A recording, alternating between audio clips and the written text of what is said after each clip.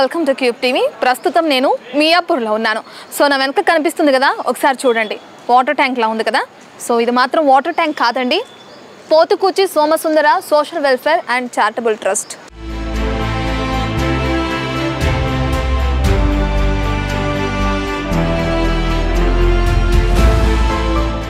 చెప్పాలంటే ఇది ఒక స్కూలే స్కూల్ టైపే. ఎంతోమంది పిల్లలు ఒక అంటే అటు పేరెంట్స్ లేని పిల్లలు ఉంటారు అండ్ మదర్ ఉండి ఫాదర్ లేక ఫాదర్ ఉండి మదర్ లేక ఇబ్బంది పడే పిల్లలు ఉంటారు సో వాళ్ళకి స్టడీ అనేది చాలా ఇబ్బందికరంగా మారుతుంది. And at the same time చాలామందికి అవేర్నెస్ లేదు. ఆడపిల్లల్ని చదివించుకోవటం ఎందుకు? పిల్లలకి చదువు ఎందుకు అనుకునే వాళ్ళకి? లేదు చదువు చాలా ఇంపార్టెంట్ చాలా ముఖ్యమని చెప్పడానికే ఈ సోషల్ వెల్ఫేర్ అనేది ఒకటి స్టార్ట్ చేయడం జరిగింది. శ్రీనివాస్ గారు. సో ఒకసారి లోపలికి వెళ్ళి మీకు నేను క్లియర్గా చూపిస్తాను. వాటర్ ట్యాంక్లో ఫస్ట్ ఇట్లా పెట్టారు ఒక ట్యూషన్ అండ్ ఒక స్కూల్ అనేది నడుపుతున్నారంటే నేను కూడా ఫస్ట్ చాలా ఆశ్చర్యపడ్డాను. అసలు వాటర్ ట్యాంక్లో ఏంటి అని. సో ఇది పెట్టడానికి కూడా ఒక రీజన్ ఉంది. అండ్ ఈ సోషల్ వెల్ఫేర్ని వీళ్ళు రన్ చేస్తున్నారు. దగ్గర దగ్గర టూ థౌజండ్ త్రీనే స్టార్ట్ చేశారు. టూ థౌజండ్ త్రీలో స్టార్ట్ చేసి ఇప్పటి వరకు ట్వంటీ త్రీ వరకు నడిపిస్తున్నారు. దగ్గర దగ్గర ట్వెల్వ్ లెవెన్ ఇయర్స్ అవుతుంది. ఒకసారి లోపలికి రండి మీకు కూడా నేను క్లియర్గా ఎక్స్ప్లెయిన్ చేస్తాను. అసలు ఇది ఏంటి అనేది నాతో పాటు రండి.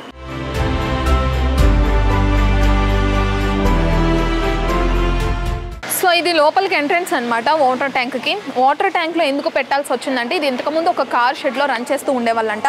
సో కార్ షెడ్ అంటే కార్ గ్యారేజ్ అని చెప్పుకోవచ్చు. గ్యారేజ్లో రన్ చేస్తూ ఉంటున్నప్పుడు అక్కడ కొంచెం ఇబ్బందికరంగా మారడం వల్ల వాళ్ళు వద్దు ఖాళీ చేసేమన్న తర్వాత ఇట్లాంటి ఒక వాటర్ ట్యాంక్ని తీసుకుని ఖాళీగా ఉంటున్న వాటర్ ట్యాంక్ని తీసుకుని ఇందులో పిల్లలకి నైన్త్ నుంచి ఇంజనీరింగ్ వరకు చదువుకునే పిల్లలు ఎవరైతే ఉన్నారో వాళ్ళకి స్కూల్స్లో కానీ కాలేజెస్లో కానీ ఫీజు కట్టడం బుక్స్ అలాగే ఫుడ్ కూడా ఇక్కడే ప్రిపేర్ చేస్తూ ఉంటారు. సో ఇవన్నీ ఇక్కడ చేసి ఇవన్నీ అందిస్తూ ఇక్కడ పిల్లల్ని చదువుకోవడానికి చాలా ఉపయోగకరంగా ఒక క్రి- ఒకటి ఒక ప్లేస్ అనేది క్రియేట్ చేశారు. ఇది వాటర్ ట్యాంక్ అని చెప్పాను కదా ఫస్ట్ ఫ్లోర్లో రాగానే ఇదనమాట నేను ఇది కూడా ఉంటుంది అనుకున్నాను కానీ వాటర్ ట్యాంక్ కదా. సో దానికి సంబంధించిన ఇనుము అండ్ రేకులు ఏవైతే ఉన్నాయో ఇది ఒక చిన్న గ్యారేజ్ లాగా పెట్టేసి ఇక్కడ మొత్తం వేసేసారు ఇది మాత్రం యూజ్లో లేదు. అండ్ దీని చుట్టుపక్కల ఉన్నది నేను చూపిస్తాను. ఒకసారి నాతో పాటు రండి. కింద ఇదంతా మొత్తం అంటే ఇక్కడ నేను చెప్పాను కదా ఫుడ్ కూడా అరేంజ్ చేస్తున్నారని. ఫుడ్కు సంబంధించినంతా కూడా ఇక్కడే ఉంది. ఇక్కడ కొంతమంది పిల్లలు ఉన్నారు. ఇక్కడ వీళ్ళకి ట్యూషన్ చెప్పడం అనేది జరుగుతుంది. హాయ్ ఏ క్లాస్ మీరు? ఫస్ట్ ఇయరా ఏం first year inter first year tenth complete అయింది మీది. సో మీ మీకు ఎవరు ట్యూషన్ చెప్తారు ఇక్కడ? సెకండ్ ఇయర్ స్టూడెంట్ చదువుతున్న వాళ్ళు ట్యూషన్ చెప్తున్నారు. ఏ టైమింగ్స్లో వస్తారు మీరు ఇక్కడికి? ఫైవ్ ఓకే కాలేజ్ అయిపోయిన తర్వాత. కాలేజ్ అయిపోయిన తర్వాత వీళ్ళు ఇంటర్ ఫస్ట్ ఇయర్ స్టూడెంట్స్ అనమాట ఫస్ట్ ఇయర్ వాళ్ళకి దానికన్నా పై class inter second year students క్లాసులు చెప్పడం జరుగుతుంది. క్లాసులు అంటే కాలేజ్లో ఏవైతే అర్థం కావో అలాంటి డౌట్స్ అని ఇక్కడ క్లియర్ చే క్లియర్ చేయడం జరుగుతుంది. బోర్డ్ కూడా ఉంది చూడండి. క్లియర్గా ఎక్స్ప్లెయిన్ చేయడానికి జస్ట్ ఎక్స్ప్లెయిన్ చేశామంటే ఏదో బుక్స్ పట్టుకుని ఎక్స్ప్లెయిన్ చేశామన్నట్టు కాదు. బోర్డు మీద ఇంత క్లారిటీగా రాసి అంత బాగా ఎక్స్ప్లెయిన్ చేస్తున్నారు. సో ఇది ఇక్కడ ఇది ఒక సైడ్ అనమాట అండ్ కొంచెం ముందుకెళ్తే ఇంకో క్లాసులు కూడా రన్ అవుతున్నాయి. వేరే క్లాస్ కూడా ఉంది. అక్కడ కూడా వెళ్ళి నేను అక్కడ అక్కడ ఏ క్లాస్కి చెప్తున్నారు ట్యూషన్ అనేది కూడా నేను చెప్తాను. అండ్ ఇటు సైడ్ వస్తే ఒకసారి బ్యాక్ సైడ్ నా ఎదురు ఏముందో చూడండి. ఇదంతా ఫుడ్ ప్రిపేర్ చేస్తున్నారనమాట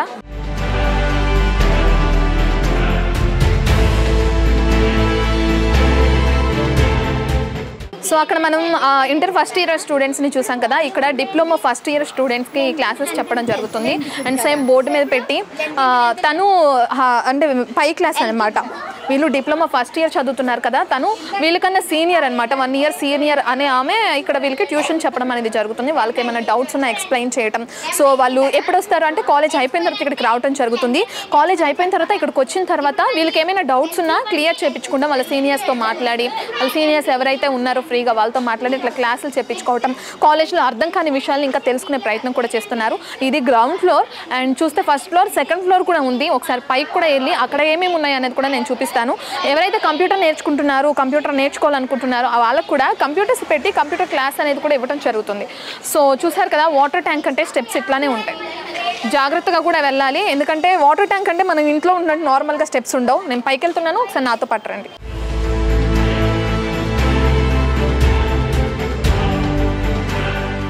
సో వాటర్ ట్యాంక్ అంటే తెలుసు కదా మెట్లు ఇలానే ఉంటాయి. పిల్లలు పడిపోకుండా సేఫ్టీగా ఉండడం కోసం పక్కన పట్టుకున్నానికి ఐరన్ కూడా పెట్టారు. సేఫ్టీ అనేది చాలా ఎక్కువ యూస్ చేశారని కూడా చెప్పుకోవచ్చు. ఇది Mothukuchi Somasundara social welfare and charitable trust అనమాట ఫస్ట్ ఫ్లోర్కి వచ్చాను నేను. ఫస్ట్ ఫ్లోర్ లోపలికి వెళ్దాం. లోపలికి వెళ్ళి కూడా చూద్దాం. వాటర్ ట్యాంక్ అంటే నేను మొత్తం వాటర్ ఉంటాయి అనుకున్నాను. వాటర్ ట్యాంక్ను కూడా ఇట్లా మార్చొచ్చు. చదువుకునే పిల్లలకి హెల్ప్ చేయొచ్చు. కొంతమంది పిల్లలు చదువుకోవడానికి ఈ విధంగా కూడా ఉపయోగపడుతుంది. అసలు చాలా గొప్ప ఆలోచన అని కూడా చెప్పొచ్చు. శ్రీనివాస్ గారు దీన్ని స్థాపించారు టూ థౌజండ్ త్రీలో. అప్పటి నుంచి ఇది రన్ చేయడం జరుగుతుంది. దగ్గర దగ్గర వీళ్ళకి ట్వెల్వ్ బ్రాంచెస్ ఉన్నాయంట. లెవెన్ బ్రాంచెస్ వేరే దగ్గర ఉన్నాయి. ఇది మెయిన్ బ్రాంచ్ అనమాట సో ఇది ఫస్ట్ ఫ్లోర్ అనమాట రాగానే మనకి ఇక్కడ ఒక రిసెప్షన్ కనిపిస్తుంది. రిసెప్షన్లో ఉంటారు. ఎవరైనా వచ్చి అక్కడ మాట్లాడాలి అనుకున్న వాళ్ళు అంటే ఈ చారిటబుల్ ట్రస్ట్ గురించి తెలుసుకోవాలి అనుకున్న వాళ్ళు అక్కడ మాట్లాడి అన్ని తెలుసుకోవచ్చు. అండ్ ఇక్కడ సిస్టమ్స్ ఉన్నాయి. పిల్లలు చదువుకుంటున్నారు. డిప్లొమా సెకండ్ ఇయర్ చదువుతున్న స్టూడెంట్ ఉన్నారు. అండ్ బీటెక్ థర్డ్ ఇయర్ చదువుతున్న స్టూడెంట్ కూడా ఉన్నారు మనతో పాటు.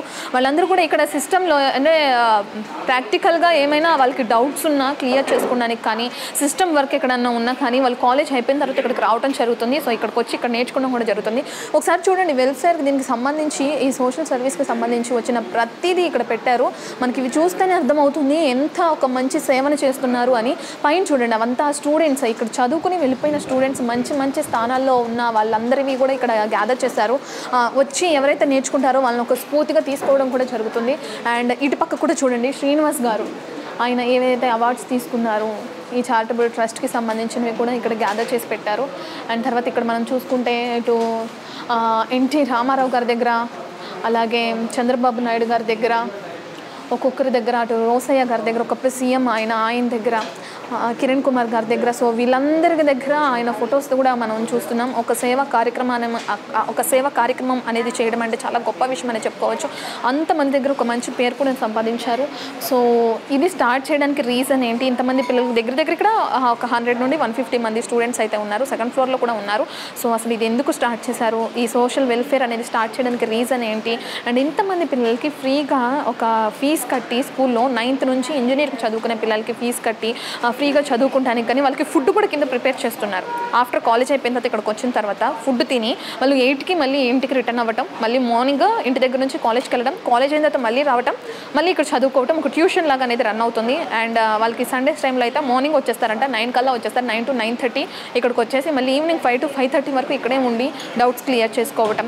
ఓన్లీ చదువుకోవడం గురించి మాత్రమే కాదు చదువుకోవాలి ఇక్కడ ఓన్లీ చదువు మాత్రమే కాకుండా ఆడుకోవడానికి కూడా యాక్టివిటీస్ కూడా ఇక్కడ ఉన్నాయి సిస్టమ్స్ ఉన్నాయి మనం చూసాం. అండ్ నేను ఇందాక చూసాను క్యాలం బోర్డ్ ఇవన్నీ కూడా ఉన్నాయి పిల్లలు ఆడుకోవడానికి. సో ఇది ఒక బందీ జైలు ఎప్పుడు చదువుకోవాలన్న ప్రెషర్ కూడా ఏమి ఉండదు. పిల్లలకి మంచి వాతావరణం అనేది ఇక్కడ ఉంది. సో శ్రీనివాస్ గారు కూడా మనతో పాటు ఉన్నారు. ఆయనతో కూడా ఒకసారి మాట్లాడి ఇది స్థాపించడానికి రీజన్ ఏంటి ఎప్పటి నుంచి చేస్తున్నారు ఫండ్స్ ఎలా వస్తున్నాయి ఎంతమంది పిల్లలు ఉన్నారు ఎవరెవరికి ఏ హెల్ప్ చేశారు ఇవన్నీ కూడా తెలుసుకునే ప్రయత్నం చేద్దాం. So Pothukuchi Somasundara social welfare and charitable trust chairman Srinivas garu మనతో ఉన్నారు. సార్తో కూడా ఒకసారి మాట్లాడదాం. నమస్తే సార్. ఎలా ఉన్నారు? సార్ చెప్పండి. అసలు ఈ సోషల్ వెల్ఫేర్ అని చారిటబుల్ ట్రస్ట్ ఈ సేవా కార్యక్రమాలు చేయాలని మీకు ఎందుకు అనిపించింది? ఇది యాక్చువల్గా మా ఫాదర్ జాతీయ స్థాయిలో ఉత్తమ ఉపాధ్యాయ అవార్డు గ్రహీత. ఓకే. ఆయన మాకు కొంతవరకు స్ఫూర్తి. ఓకే. తర్వాత కాలంలో జనరల్గా నా నేచర్ ఏంటంటే ఏదైనా సమస్య ఉంటే దాన్ని గట్టిగా పరిష్కారం చేయాలనేటువంటి ఆలోచన చిన్నప్పటి నుంచి ఉంది. ఓకే. అది ఆల్మోస్ట్ కార్యరూపం దాల్చింది. ఆ రకంగా చేస్తున్న క్రమంలో ఈ వ్యవస్థ ఏర్పాటు చేయడం జరిగింది. ఎప్పుడు స్టార్ట్ చేశారు సార్ ఇది? ఇది యాక్చువల్గా నేను నైన్టీన్ నైంటీలో నైంటీ సిక్స్లో మియాపూర్ వచ్చాను వచ్చినప్పుడు ఈ ప్రాంతంలో ఏం సౌకర్యాలు పెద్దగా లేవు. అప్పటికి ఏమి డెవలప్ కాలేదు. అప్పుడు చోట్ల లోకల్ వీక్లీ ఒక మార్కెట్ పెట్టిస్తే బాగుంటుంది. ఇక్కడ ఆడవాళ్ళందరూ కూడా కుకటిపల్లి కానీ లింగంపల్లి కానీ పోతున్నారు. అందువల్ల వీళ్ళందరికీ ఏదైనా చిన్న వెజిటబుల్ మార్కెట్ ఒకటి పెడితే ఉపయోగకరంగా ఉంటుందనే ఉద్దేశంతో అక్కడ ఒక చిన్న మండీ ఏర్పాటు చేయడానికి ట్రై చేసాం ఇది ninety nine December twenty eighth start చేసాం నైంటీ సిక్స్ నుంచి నైంటీ నైన్ వరకు వర్క్ చేసాం వర్క్ చేసి ఆ- ఆ రకంగా అది ఎస్టాబ్లిష్ చేసాం ఆ తర్వాత చిన్న చిన్న పనులు చేస్తూ మన ఈ ఏరియాలో కొంచెం నేను అందరికీ తెలియడం జరిగింది. జరిగిన తర్వాత ఒకసారి గవర్నమెంట్ స్కూల్కి వెళ్ళాను నేను. వెళ్తే అక్కడ పిల్లల పరిస్థితి ఏం పెద్దగా బాగలేదు.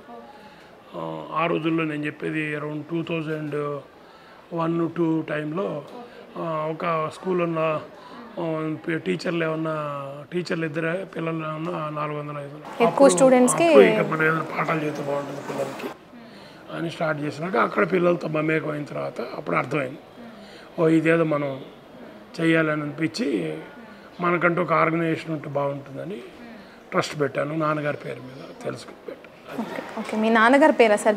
సోమసుందర శాస్త్రి గారు అంటే మీ తండ్రి గారు. ఆయన జాతీయ స్థాయిలో ఉత్తమ ఉపాధ్యాయుడు గ్రహీత. ఓకే. వారి పేరు మీద ట్రస్ట్ పెట్టారు.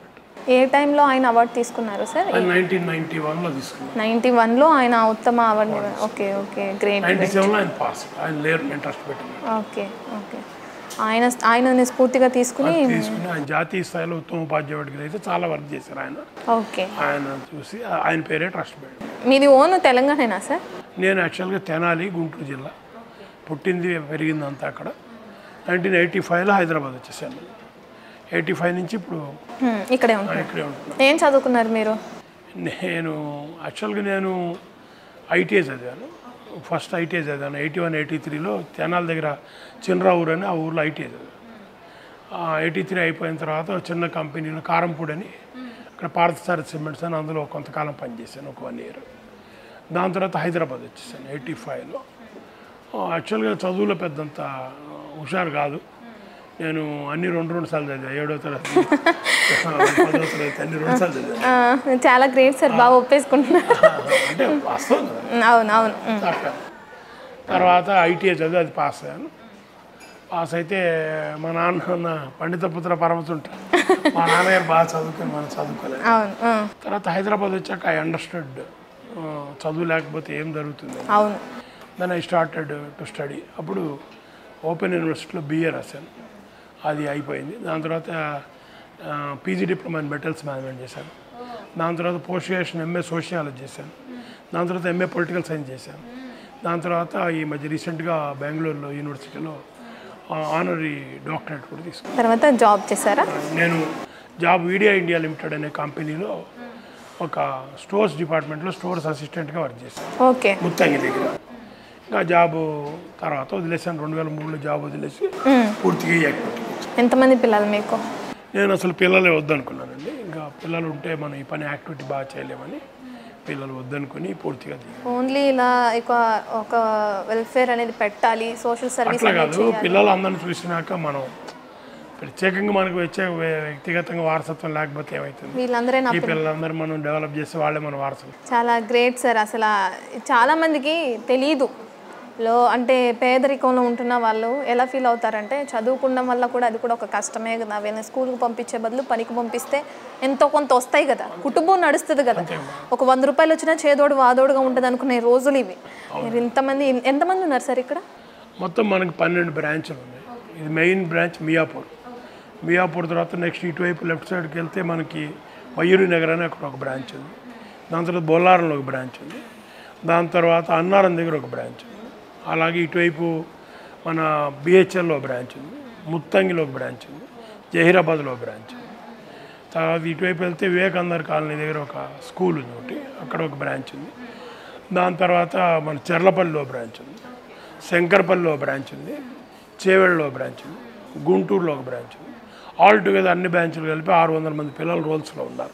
గుంటూరు అంటే ఆంధ్రాలో? ఆంధ్రలో. ఆంధ్రాలో కూడా ఓకే. మొత్తం ఈ ఎన్ని బ్రాంచ్ల్లో కలిపి ఆరు వందల మంది పిల్లలు చదువుకుంటున్నారు. ఆరు వందలు ఓకే చదువుకుంటున్నారు. ఇప్పటివరకు యాజ్ ఆన్ డేట్ ఒక వెయ్యి మంది పిల్లలు పాలిటెక్నిక్ డిప్లొమా కంప్లీట్ చేసి ఉద్యోగాలు చేసుకుంటున్నారు. రెండు వందల రెండు వందల మంది గ్రాడ్యుయేట్ ఇంజనీర్లు అయ్యారు ఇప్పుడు. Great great sir. చాలా గ్రేట్. వస్తూ ఉంటారా? చదువుకుని అంత వస్తారంటే మేము జనరల్గా రెగ్యులర్ రారు. ఎప్పుడైనా మా యాక్టివిటీ ఉన్నప్పుడు ఏదైనా మా మొన్న యాన్యువల్ డే చేసాం twenty years annual day okay twenty years complete అయింది. అయిపోయినప్పుడు యాన్యువల్ డే చేసాం దాని తర్వాత అట్లా ఏదైనా అకేషన్ ఉంటే వస్తారు పిల్లలు. అందరూ కాదు కానీ వస్తూ ఉంటారు. కొంతమంది పిల్లలు నాతో పాటు ఉండి సర్వీస్ కూడా చేస్తారు. అంటే వాళ్ళు ఇంకా డిసైడెడ్ అనమాట ఒక ఏడెనిమిది మంది పిల్లలు పూర్తిగా ఫుల్ టైం వాళ్ళు జాబ్ చేసుకుంటూ నాతో పాటు ఉండి వర్క్ వర్క్ ఫ్రమ్ హోమ్ ఉంది కదా. అది చేసుకుంటూ ఈ యాక్టివిటీ మీరు వెళ్తూ ఉంటారా? మిగిలిన బ్రాంచ్లకు కూడా అప్పుడప్పుడు? నేనైతే ఆల్ మేము రెగ్యులర్గా ఏమవుతుందంటే రాత్రి తొమ్మిదింటికి ఒక వీడియో మీటింగ్ పెట్టుకుంటాం అన్ని బ్రాంచ్లకు ఓకే. ఏ బ్రాంచ్లో ఏం జరిగింది ఆ రోజు పిల్లలు ఎంతమంది వచ్చారు వాళ్ళకి భోజనం ఏం పెట్టారు ఏం క్లాసులు జరిగినాయి ఎవరెవరు ఆబ్సెంట్ అయ్యారు ఆ డాటా అంతా తీసుకుని ఆబ్సెంట్ అయిన వాళ్ళకి మళ్ళీ మేము ఆ బ్రాంచ్ ఇన్ఛార్జ్ చేసి ఫాలోఅప్ చేస్తారు. వాళ్ళు రెండు మూడు రోజులు ఎక్కువ మానేస్తే మెయిన్ ఆఫీస్ మాకు చెప్తారు. మేము మాట్లాడతాం ఇంకా ఎక్కువ మానేస్తే నేనే ఇంటికి వెళ్తాను. వెళ్ళి మాట్లాడేసి మళ్ళీ పిల్లలు వచ్చేటట్టుగా చేస్తాం వాళ్ళ పేరెంట్స్తో మాట్లాడి పేరెంట్స్ జనరల్గా పేరెంట్స్ విజిట్ చేస్తూనే ఉంటాను. ఇప్పుడు ఇదివరకు బాగా హెవీగా చేసేవాడిని. ఇప్పుడు కొంచెం అంత హెల్త్ ఫుల్ సపోర్ట్ చేయదు కదా. వెళ్తూనే ఉంటారు పిల్లలు ఇళ్ళకి వెళ్ళి పేరెంట్స్తో మాట్లాడి అట్లయితేనే పేరెంట్స్ మోటివేట్ అవుతారు. ఎందుకంటే వీళ్ళంతా దినసరి కూలీలు ఉంటారు. రోజు ఏ రోజుకి ఆ రోజు కూలీ చేసుకుంటే కానీ డబ్బులు రావు. తర్వాత ఏమైందంటే తండ్రులు కొంచెం ఆల్కాలిక్ హ్యాబిట్ ఉంటుంది. దాంతో వాళ్ళకి ఫైనాన్షియల్ డిసిప్లిన్ ఉండదు. ఏదో డబ్బులు సంపాదించిన ఫైనాన్షియల్ డిసిప్లిన్ ఇంకోటి వాళ్ళు ఎక్కడ ఉంటారో ఆ పరిసర ప్రాంతాలంతా కూడా చదువుని అంగీకరించే స్థితి ఉండదు. అంటే స్లమ్ ఏరియాస్లో ఉంటారు. ఆ మోటివేట్ అవ్వడానికి చాలా తక్కువ స్కోప్ ఉంది హెరిడిటీ ఒకటి బాగుండదు. అంటే పేరెంటల్ పేరెంటల్ పేరెంటల్ హెరిడిటీ చదువుకున్న వాళ్ళు ఉండరు. వీళ్ళే ఫస్ట్ జనరేషన్ చదువుకున్న వాళ్ళు ఉంటారు కాబట్టి దాని ప్రోత్సాహం తక్కువ ఉంటుంది. ఆడపిల్లలు అయితే తొందరగా జైరాబాద్ లాంటి ప్లేసెస్లో అయితే తొందరగా పెళ్ళి చేసేయాలనుకుంటారు.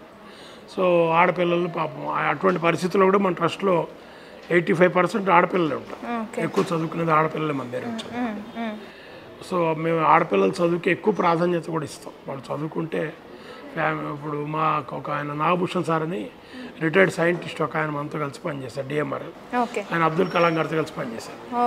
ఆయన అడిగాను నేను ఎందుకంటే ఆడపిల్లలు చదువుకుంటే వేస్ట్ వాళ్ళు పెళ్ళి చేసుకుని ఇంటికి వెళ్ళిపోతారు కదా. మొబైల్ అయితే మళ్ళీ తిరిగి ఆర్గనైజేషన్ నిలబడతారు కదా. అంటే అట్లాగా శ్రీనివాస్ ఆడపిల్లలు చదువుకుంటే ఒక లాభం ఉంది వాళ్ళు ఉద్యోగం చేయకపోయినా కూడా వాళ్ళని చదివించాలన్నారు. అదేంటి సార్ అన్న? అంటే ఆడపిల్లలు చదువుకుంటే ఉద్యోగం చేయి ఉద్యోగం చేయబోయినా ఇంట్లో ఉంటే తన పిల్లలైనా చదివించుకుంటుంది కదా. అట్లా నెక్స్ట్ జనరేషన్కి ఉపయోగపడుతుంది. మగవాళ్ళు అక్కడెక్కడ తిరుగుతారు? ఆడవాళ్ళు అయితే దాని కన్సర్న్ అబౌట్ చిల్డ్రన్ కాబట్టి వాళ్ళైనా వాళ్ళ పిల్లలకైనా చదివించుకుంటారు. వాళ్ళు చే నేర్పుతారు. అందుకని ఆడవాళ్ళు ఖచ్చితంగా చదువుకోవాల్సిందే. కుటుంబాన్ని నడిపేది ఆడవాళ్ళే కాబట్టి. కొంచెం వాళ్ళ సపోర్ట్ వాళ్ళ కన్సర్న్ ఎక్కువ ఉంటుంది కదా ఫ్యామిలీ పట్ల. అందుకని మనం చదివించాలని. ఇప్పుడు మీరు దగ్గర దగ్గర ట్వంటీ ఇయర్స్ మొన్నే యానివర్సరీ చేశామని కూడా చెప్పారు. ట్వంటీ ఇయర్స్లో మీరు చాలా మంది స్టూడెంట్స్ని చూసే ఉంటారు. వచ్చిన వాళ్ళు చదువుకున్న వాళ్ళు మంచి జాబ్ మీ ఫేవరెట్ స్టూడెంట్ ఎవరైనా ఉన్నారా? ఫేవరెట్ అంటే యాక్చువల్గా ఇప్పుడు ఇవాళ వచ్చిన పాపాయి ఆ మొదటి రోజు వెళ్ళిపోయిన పాపాయి ఎట్లాగో అందరిని అంతగా ఇష్టపడతాం మనం. ప్రత్యేకంగా ఎందుకంటే మేము we are working for object not for subject. ఈ వా మనం ఎంతసేపటికి ఒక బిడ్డని ఒక బాబుని కానీ ఒక పాపని కానీ చూస్తే వాళ్ళ పేదరికం ఎలా తొలగించాలి ఈ పాప ద్వారా అనే ఆలోచన ఉంటుంది కదా. వాళ్ళు ఎర్రగా ఉన్నారా తెల్లగా ఉన్నారా పొట్టిగా ఉన్నారా పొడుగ్గా ఉన్నారా? అట్లా ఆ థాట్ ప్రాసెస్లు ఉండవు. ఈ బిడ్డను మనం చదివిస్తే వీళ్ళ కుటుంబంలో ఎటువంటి మార్పు వస్తుంది అనే విజన్తో చేస్తాం కాబట్టి మాకు తప్పిన పిల్లవాడే ఎక్కువ ఇంపార్టెంట్ ఉన్న తొంభై శాతం తొంభై శాతం వచ్చేవాడి కన్నా.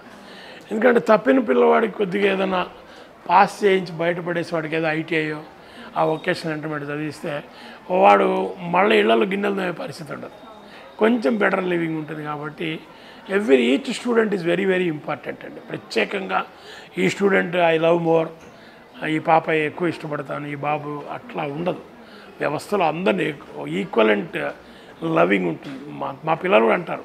సార్ ఇంజనీరింగ్ ఫైనల్ ఇయర్ పిల్లలతో ఎట్లా ఉంటారు మీరు? నిన్నగాక మొన్న వచ్చిన పిల్లలతో కూడా ఎట్లా ఉంటారు? ఇది ఎట్లా సాధ్యం? అంటారు.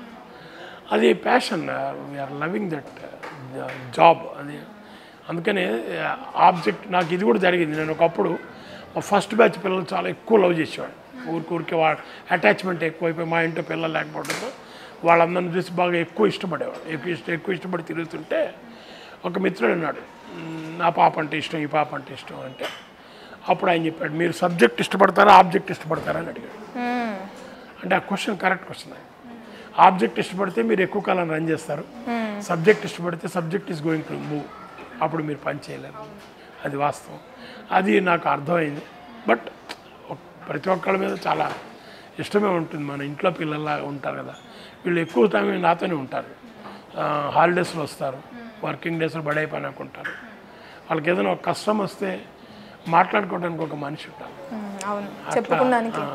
నాకు ఈ ప్రాబ్లం ఉంది సార్ అని చెప్పి వాళ్ళకి ఒక ఐకానిక్ అంటే గాడ్ ఫాదర్ లాగా నాకు ఈ సమస్య ఉంటే ఈజ్ గోయింగ్ కొంతమంది తల్లులు వెళ్ళొద్దు అంటారు చదువుకోవద్దు అంటారు కాలేజ్ సీట్ వచ్చినా పోవద్దు అంటారు ఇట్లా వాళ్ళకి పాపం వాళ్ళకుండే అన్నోయింగ్నెస్లో ఎవరు చెప్పాలి? అప్పుడు వచ్చి ఇట్లా మా ఇంట్లో ఈ సమస్య ఉంది, మా నాన్న వద్దని మా అమ్మ వద్దు అంటుందంటే మరి వాళ్ళ ఆ చెప్పుకునేటువంటి యాక్సెస్ వాళ్ళకి ఇవ్వాలి కదా.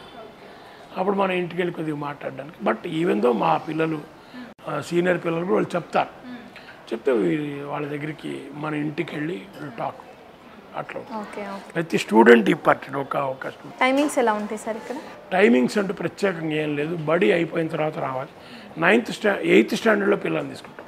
ఎయిత్ నుంచి ఉన్నారా? ఇంతకుముందు నైన్త్లో తీసుకునేవాళ్ళం. ఓకే. ఎయిత్ స్టాండర్డ్ ఎందుకంటే ఈ కరోనా మూలంగా పిల్లలు రాయడం చదవడం రావట్లేదు. కరోనా యాక్చువల్గా మన దగ్గరికి నైన్త్ క్లాస్లో పిల్లలు వస్తే వాళ్ళు సెవెంత్ క్లాస్ నాలెడ్జ్ ఉంటుంది. అంతే కదా? మరి కరోనా రెండేళ్ళు పోయిందనుకో అప్పుడు ఐదో తరగతి నాలెడ్జ్. తొమ్మిదో తరగతి ఐదో తరగతి నాలెడ్జ్ ఉంటే కష్టం కదా?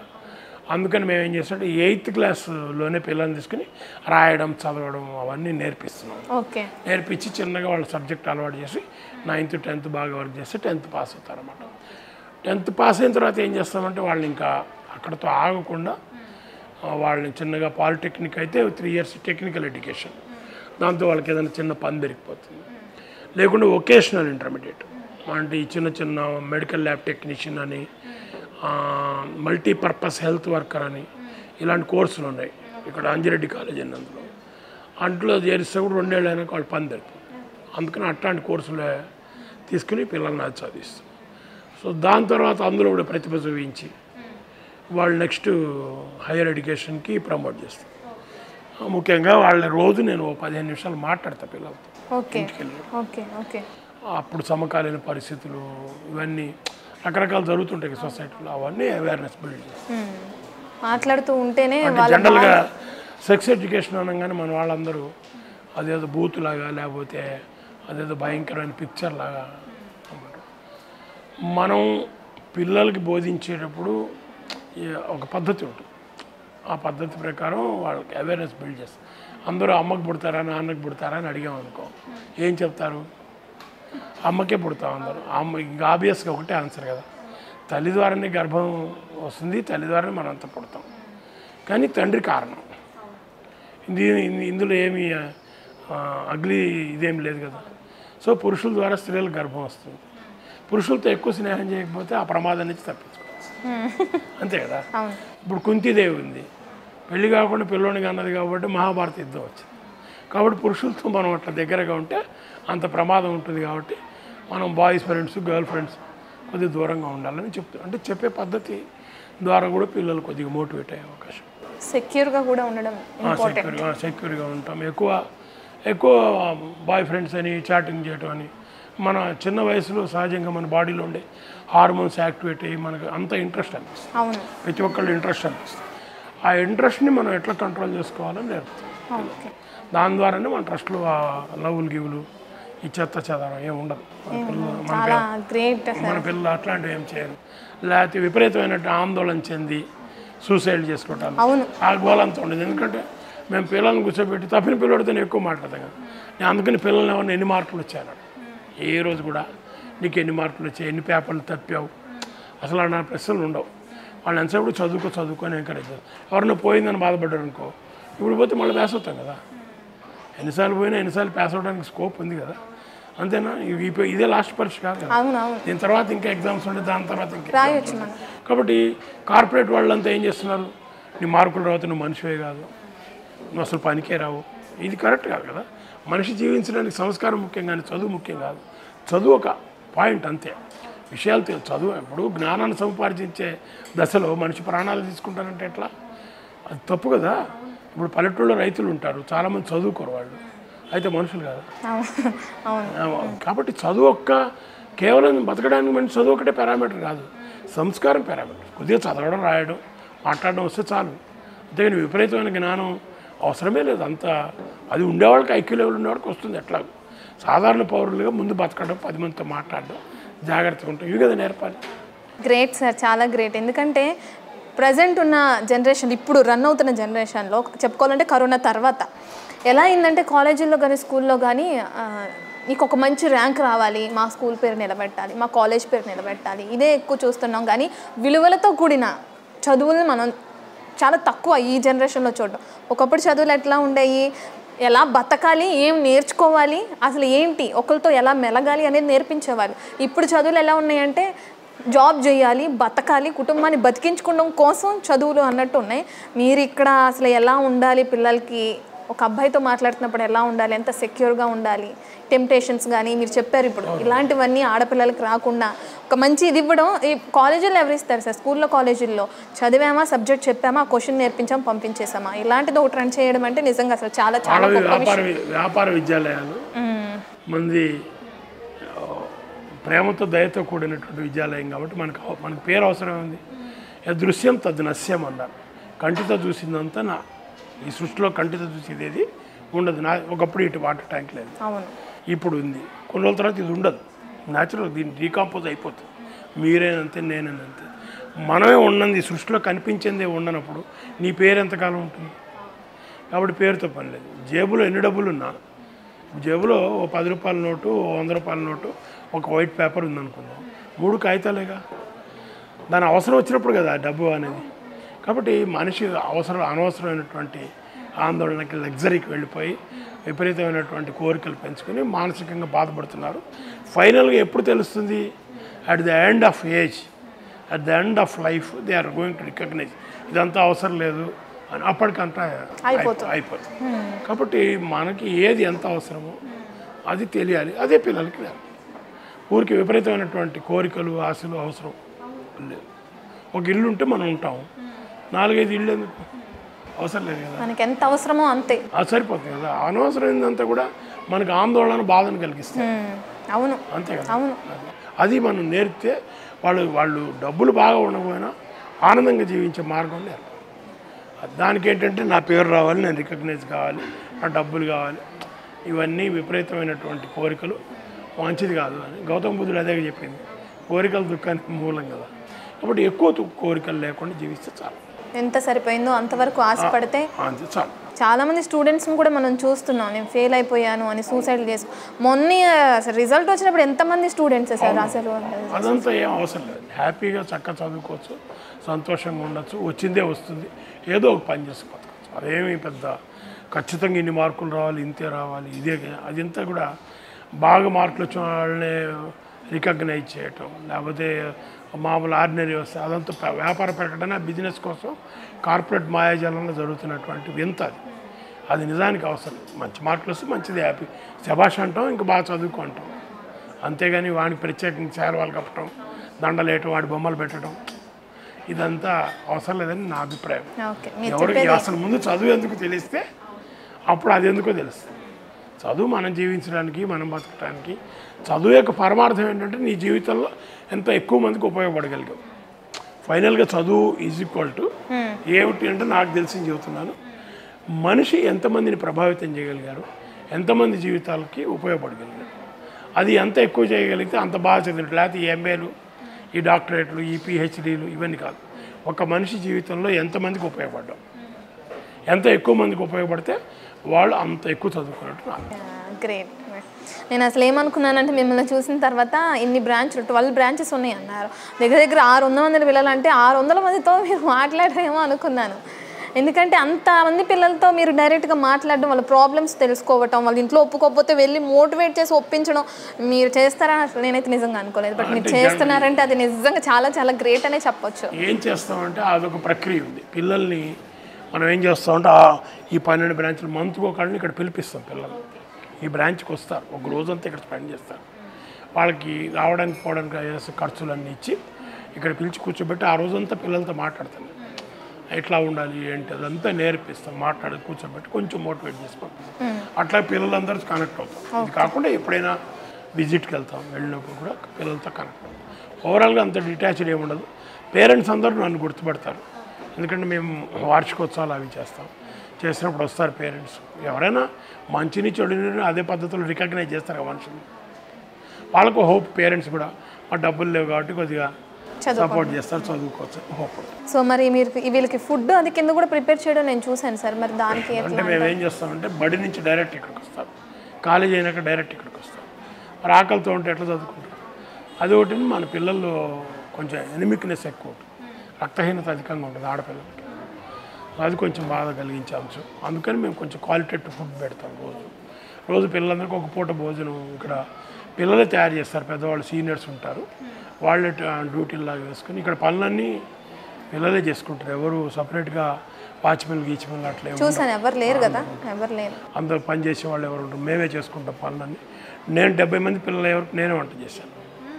అట్లా అన్నీ చేసుకుంటాం మేమే. తర్వాత పిల్లలు మీరు ఉండండి సార్ మేము చేస్తామని వాళ్ళు అలవాటు చేసుకుని వాళ్ళు చేయటం మొదలు పెట్టారు రోజు అందరికి అన్ని బ్రాంచుల్లో ఒక పూట భోజనం. అది దానికి కూడా దాతలు బియ్యం ఇవ్వటం కందిపప్పు ఇవ్వటం ఆయిల్ ఇవ్వటం. చాలా మంచి పద్ధతి ఇది. పని వాళ్ళని పెట్టి ఆయాలు వాచ్మెన్లు వంట చేసే వాళ్ళని. మేమంతా పని వాళ్ళమే. ఇది ఒక యాక్టివిటీగా కూడా ఉంది. మేమంతా పని వాళ్ళమే. మళ్ళీ మాకు పని ఉమ్, మంచి మంచి పిల్లలందరూ పని మనుషులు వాళ్ళ పిల్లలే. మేమే పని వాళ్ళం మళ్ళీ ప్రత్యేకమైన పని వాళ్ళు. వాళ్ళ పని వాళ్ళు చేసుకోవడం కూడా నేర్పిస్తున్నారు. అదే ఒకటి వాళ్ళ పని వాళ్ళు చేసుకోవాలి. ఈ పని తప్పు ఈ పని రైట్ అని ఏమి లేదు అన్ని పనులు. గౌరవించదగ్గవని. సో వీళ్ళకి కాలేజ్ అయిపోయిన వచ్చిన తర్వాత ఇక్కడే ఒక పూట తినేసి చదువుకుని ఎయిట్ వరకు ఉంటారా సార్? ఎయిట్ వరకు డైలీ ఎయిట్ వరకు మేము వెళ్ళేటప్పుడు పెద్ద పిల్లలకి బస్ పాసులు ఉంటాయి. ఓకే. నైన్త్ టెన్త్ లెవెల్లో బస్ పాసులు ఉంటాయి కాబట్టి దూరం వెళ్ళే పిల్లలకి ఛార్జ్ పైసలు మీరే ఇస్తారు. రోజు ప్రతిరోజు ఆ ఇరవై రూపాయల నోట్లు పెట్టుకుంటారు. పెట్టుకోవడం ఛార్జ్ పైసలు ఇచ్చుకోండి అన్ని బ్రాంచుల్లో పిల్లలకి ఛార్జ్ పైసలు ఇస్తాం.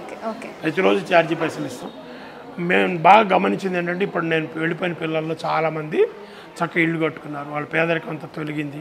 నెక్స్ట్ జనరేషన్ నా మనవాళ్ళు మనవాళ్ళు అందరూ మంచి మంచి బాళ్ళకి వెళ్తున్నారు చదువుకుంటారు బాగుంది చక్కగా. హ్యాపీగా అది అది హ్యాపీగా అనిపిస్తుంది.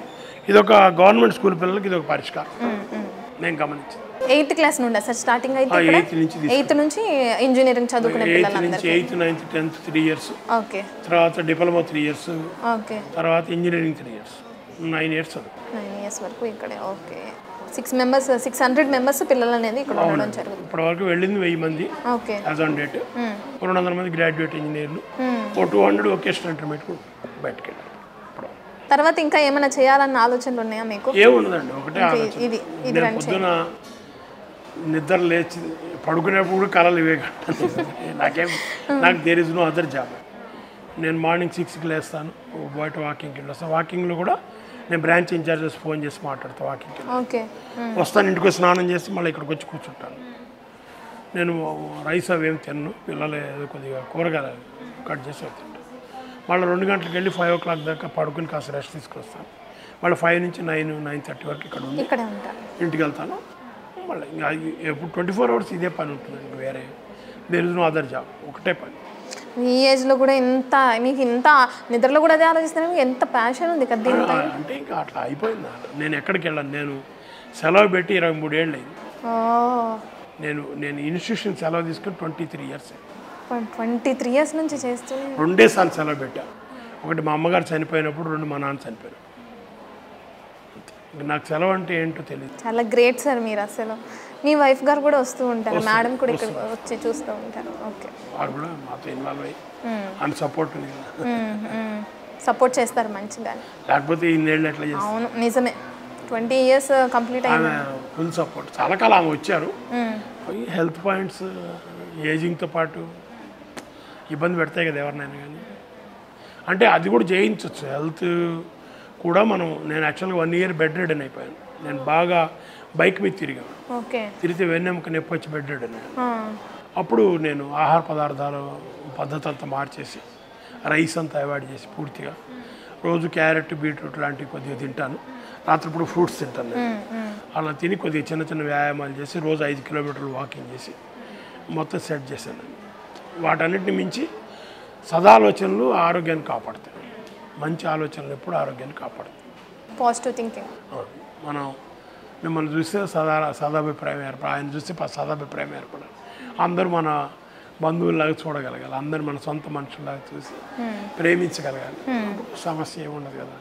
ఎవరి పట్ల వ్యతిరేకత భావన ఏమి లేకపోతే దరిదాపుగా నేను నమ్మింది అది. ఎయిటీ పర్సెంట్ అక్కడే ఆరోగ్యం బాగుంటుంది.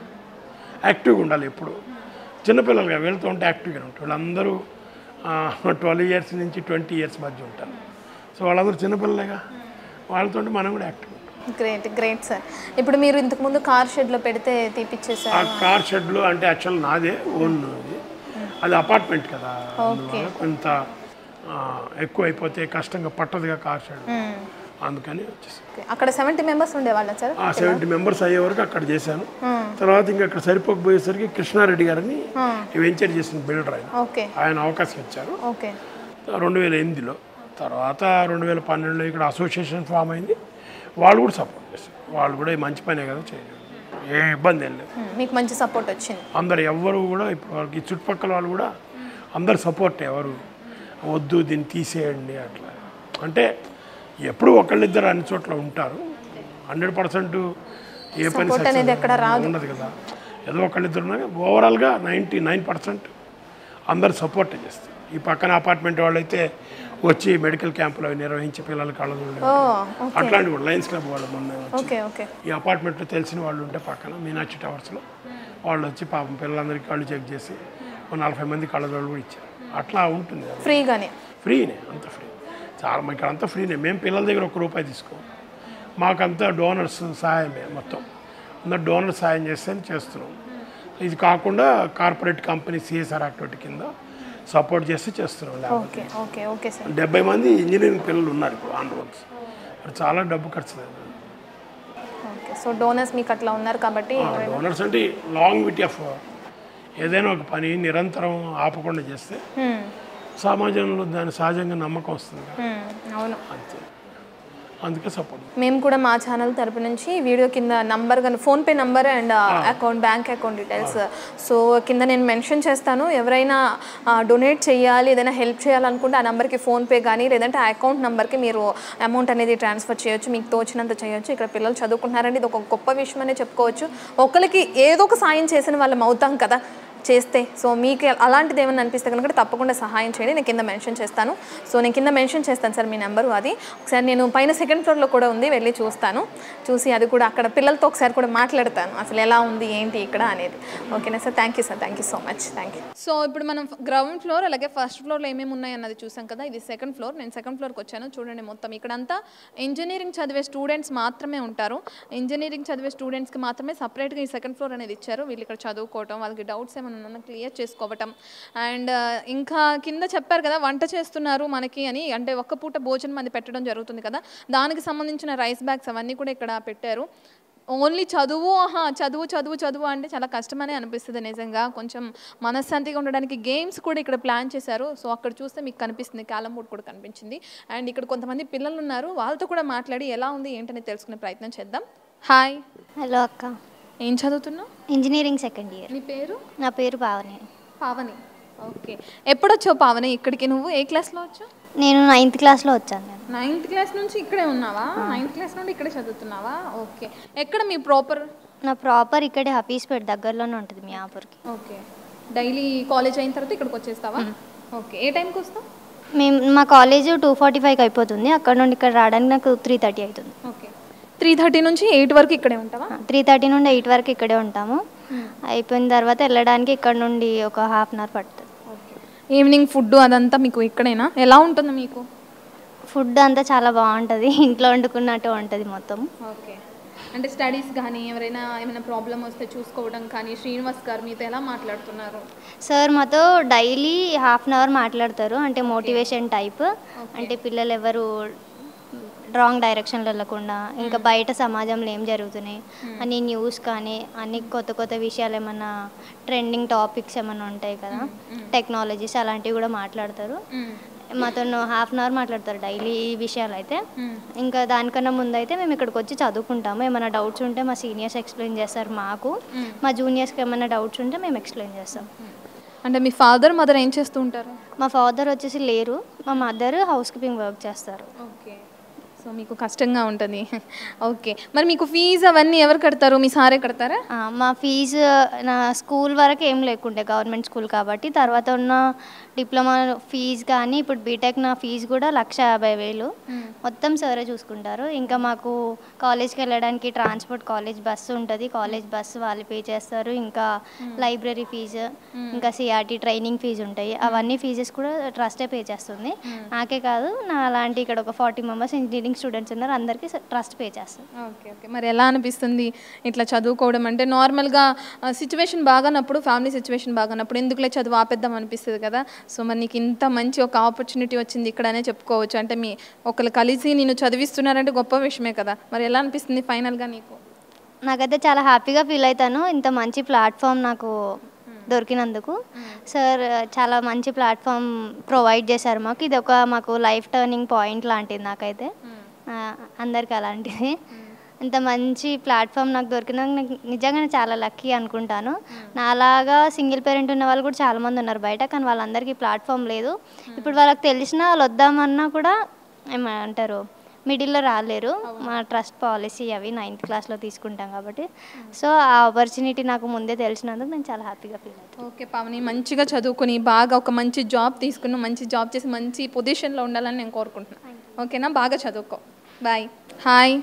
హాయ్ అక్క. పేరు? ఏషన్ కుమారి. ఏషన్ కుమారి. ఓకే ఏం చదువుతున్నావు ఇప్పుడు నువ్వు? నేను ఇప్పుడు బీటెక్ సెకండ్ ఇయర్ చదువుతున్నా అక్క. నువ్వు కూడా నైన్త్ క్లాస్లోనే వచ్చావు ఇక్కడ? నేను కూడా నైన్త్ క్లాస్ నుంచి వస్తా ట్రస్ట్కి ఓకే. ఎక్కడ మీరు ఉండేది ప్రాపర్ హఫీస్పేట్లో ఓకే సేమ్ అక్క. మరి మీ ఫాదర్ మదర్ ఏం చేస్తారు? యాక్చువల్లీ మా ఫాదర్ లేరు. మా మదర్ వచ్చేసి బ్యూటీషియన్ వర్క్ చేస్తూ ఉంటారు. ఓకే. నాకు ఇద్దరు సిబ్లింగ్స్ ఉన్నారు వాళ్ళు ఏం చదువుతున్నారు? మా సిస్టర్ ఇప్పుడే ఇంటర్ కంప్లీట్ చేసింది. ఇంకా మా తమ్ముడు ఇప్పుడు నైన్త్ క్లాస్ చదువుతున్నాడు. మీ తమ్ముడు కూడా ఇక్కడే ఉన్నాడా? లేదు. అంటే లైక్ ఇప్పుడే ఎంటర్ అయినారు కదా నైన్త్లో ఇప్పుడు జస్ట్ ఎయిత్ ఇప్పుడు కంప్లీట్ అయింది. ఎలా అనిపిస్తుంది నీకు ఇక్కడ? బాగుందక్క. లైక్ మాకు మోరల్ సపోర్ట్ లేనందువల్ల గైడెన్స్ లేనందువల్ల మేము ఏం ముందు స్టెప్ ఏం వేయాలో తెలీదు. అలాంటప్పుడు సార్ మాకు హెల్ప్ చేసి నెక్స్ట్ ఏంటి నెక్స్ట్ ఏంటి నెక్స్ట్ ఏంటి అని ఒక గైడెన్స్ వేలో ఒక స్టెప్ బై స్టెప్ వేని చూపిస్తూ ఉంటారు. చాలా హెల్ప్ఫుల్ అయింది మాకు. అన్ని అంటే చెప్పే వాళ్ళు ఉండాలి కదా ఒకటి. నువ్వు తర్వాత ఏం చేయాలి ఏంటి ఎలా ఉండాలి ఏంటి అనేది మీ సార్ బాగా మాట్లాడతారా మీతో డైలీ? మీ సార్ యాక్చువల్లీ ఏంటి మాకు సెవెన్ థర్టీ నుండి ఎయిట్ వరకు సార్ మాతో మాట్లాడతారు డైలీ. ఓకే. మాతో మాట్లాడే పంపిస్తారు మాకు ఇంటికి. అది. సో ఫుడ్ అది కూడా ఇక్కడే పెడుతున్నారు. ఫుడ్ అదంతా ఎలా ఉంటుంది మరి? ఫుడ్ ఇంట్లో కూడా అంత బాగా చేయరేమో యాక్చువల్లీ మా ఇంట్లో. సో ఇక్కడైతే బాగానే ఉంటుంది. అన్ తమ్ముళ్ళు చేస్తారు తమ్ముళ్ళు కానీ అన్నయ్య వాళ్ళు కానీ అన్నీ మేమే చేసుకుంటాం అన్ని పనులు. వెజిల్స్ కానివ్వండి వాష్రూమ్ కానివ్వండి కుకింగ్ ఏమైనా ప్యాకింగ్ ఉంటే ఇది క్లీన్ ఫ్లోర్ క్లీనింగ్ అన్నీ మేమే చేసుకుంటాం. అంటే టీమ్స్ వైజ్గా మేము సెగ్రిగేట్ చేసుకొని వీక్స్ వైజ్గా సెగ్రిగేట్ చేసుకొని అన్నీ మేమే చేసుకుంటూ ఉంటాం. మరి మీరు నైన్త్ క్లాస్లో వచ్చాను అంటున్నారు. ఇన్ని ఇన్ని ఇయర్స్ ఇక్కడ ఉండి చదువుకున్నా మీకు ఏమైనా ఎప్పుడైనా ప్రాబ్లం అనిపించిందా? నాకు ఎప్పుడు ప్రాబ్లం అనిపించలేదు అలా. ఎందుకంటే అందరూ లైక్ అందరు సిస్టర్సే ఉంటారు బ్రదర్సే ఉంటారు. ఏమైనా హెల్ప్ కావాల్సి ఉంటే చేసుకుంటాము. స్టడీ పరంగా. అంత బాగానే ఉంది. అలా ఏం అనిపించలేదు ఎప్పుడు. ఓకే ఫైనల్గా ఏం చెప్తావు ఈ ట్రస్ట్ గురించి? ఫైనల్గా ఏం చెప్తానంటే నాకు ఒక బ్యాక్ బోన్ సపోర్ట్ అని చెప్తాను. ఏం తెలియని స్టేజ్లో ఏం తెలియని వయసులో లైక్ ఇది స్టెప్ ఇది స్టెప్ ఇది స్టెప్ అని చూపించింది ట్రస్ట్ ఇన్ కేస్ ఒకవేళ ట్రస్ట్ లేకపోతే నేను ఎక్కడ ఉండేదనో నాకు తెలీదు. కొన్ని సిచ్యువేషన్స్ ఉన్నాయి. సార్ వచ్చి మాతో మాట్లాడి మా పేరెంట్స్తో కొంచెం ప్రాబ్లం అయినప్పుడు. ఆ సిచ్యువేషన్స్లో ఏంటి ఇప్పుడు నేను గుర్తు చేసుకుంటుంటే ఒకవేళ నేను ట్రస్ట్ లేకపోతే నేను ఎక్కడ ఉండేదాన్ని అని నాకు ఒకసారి అనిపిస్తుంది. సో ఏంటి సిచ్యువేషన్ లేనప్పుడు స్టెప్ బై స్టెప్గా చూపించింది ట్రస్టే సో నువ్వు బాగా చదువుకుని ఒక మంచి జాబ్ తెచ్చుకుని ఈ ట్రస్ట్కి నీ వంతు సాయం కూడా నువ్వు చేయాలి మరి. అక్క చేస్తాము. All the best thank you అక్క. ఓకే. సో చూసారు చూసాం కదా మనం ఇక్కడ పిల్లలతో కూడా మాట్లాడి అండ్ ఎలా ఉంటుంది ఏంటి అని. నిజంగా ఈ జనరేషన్లో చెప్పుకోవాలంటే ఎవరికి వాళ్ళు వాళ్ళ నా ఫ్యామిలీ బాగుండాలి నేను బాగుండాలి నా రిలేటివ్స్ బాగుండాలని ఆలోచిస్తారు. కానీ ఇట్లా ఒక ట్రస్ట్ పెట్టాలి ఇంతమంది పిల్లలకి మనం సాయం చేయాలి ఒకరికి కొంతమందికి భవిష్యత్తు ఇవ్వాలి దాని ద్వారా వాళ్ళ నెక్స్ట్ జనరేషన్కి కూడా ఉపయోగపడతారు. అండ్ అంటూ ఉంటారు కదా విద్య లేనివాడు వింత పశువు అని. నిజంగానే విద్యను అందించడం అనేది చాలా గొప్ప విషయం. మనం ఏది పెట్టినా సంతృప్తి వస్తుంది అండ్ ఏది పెట్టినా అది అయిపోతుంది ఆ దానం అక్కడ. విద్యాదానం అనేది చాలా గొప్ప విషయం. ఇంతమంది పిల్లలు ఆరు వందల పిల్లలు అంటే మాటలు కాదు. ఆరు వందల మంది పిల్లలకి ఆయన చదువు చెప్పిస్తున్నారు ట్యూషన్ చెప్తున్నారు అండ్ వాళ్ళ ఫీజులు కూడా కడుతున్నారు. ఎవరైనా దాతలు ముందుకొచ్చి ఇంకా మేము మేము కూడా హెల్ప్ చేస్తాం అనుకునే వాళ్ళు ఎవరైనా ఉంటే కింద నేను మెన్షన్ చేస్తాను. Phone number PhonePe Google Pay PhonePe or account number కూడా నేను మెన్షన్ చేస్తాను. అకౌంట్ నెంబర్ కూడా మీ ఫండ్స్ అనేవి మీరు ట్రాన్స్ఫర్ చేయొచ్చు. నిజంగా ఇంత గొప్ప సేవా కార్యక్రమం చేస్తున్నందుకు శ్రీనివాస్ గారికి నిజంగా చేతులెత్తి నమస్కారం చేయొచ్చు. అన్- ఆయన వయసు కూడా మనం చూసాం. అంత వయసులో కూడా ఆయన కొంచెం కూడా అలసిపోకుండా ప్రతి బ్రాంచ్కి వెళ్ళి ప్రతి ఒక్క పిల్లలతో మాట్లాడుతున్నారంటే ఇది చాలా చాలా గ్రేట్ విషయం. సో చూసారు కదా ఇది ఇవాళ వీడియో. ఇంకో వీడియోలో మళ్ళీ కలుసుకుందాం. అప్పటి వరకు చూస్తూనే ఉండండి. అవ ఛానల్ ఇది మీ పాత నగ.